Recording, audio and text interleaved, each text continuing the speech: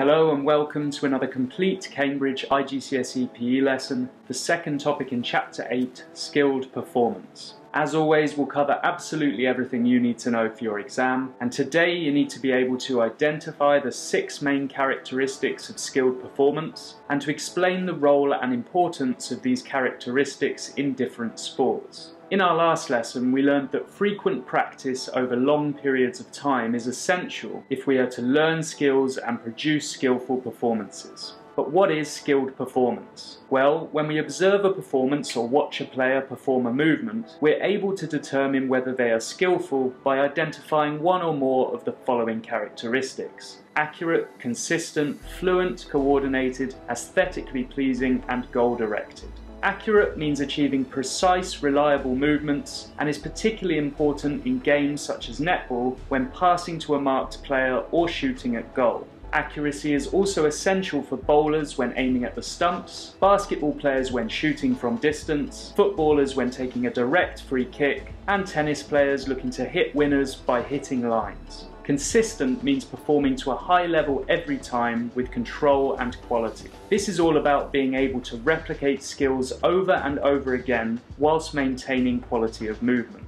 It's consistency that allows basketball players to shoot free throw after free throw, helps cricket players to register huge scores and maintain high averages, and keeps a golfer near the top of a leaderboard for the four straight rounds needed to win a Masters tournament.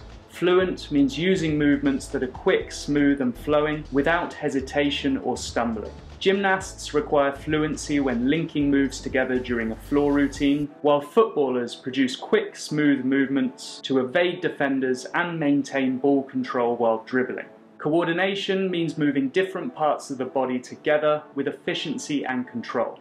Almost all skills and movements in sport require the performer to use multiple body parts and muscle groups concurrently. For example, when serving in volleyball, the server uses their legs to generate momentum and their arms and eyes to strike the centre of the ball. Aesthetically pleasing means a display that looks good to the eye of the spectator, judge or coach, and is a particularly important characteristic for gymnasts, divers and figure skaters who are judged largely on the appearance of their actions. In games, aesthetics are far less important, and many athletes have become successful despite their unorthodox and arguably ugly methods. Goal directed means focusing on a target and being determined to achieve that target. A performer whose performances do not reflect a clear plan or objective will almost certainly lack effectiveness. Imagine a boxer who enters the ring without a plan, or a footballer not interested in scoring goals. So skilled performers know what needs to be done to be successful and make decisions and use skills that carry them towards their goals. So now that we've learned the six characteristics of skilled performance, let's study the role of each characteristic for a single example from sport, badminton.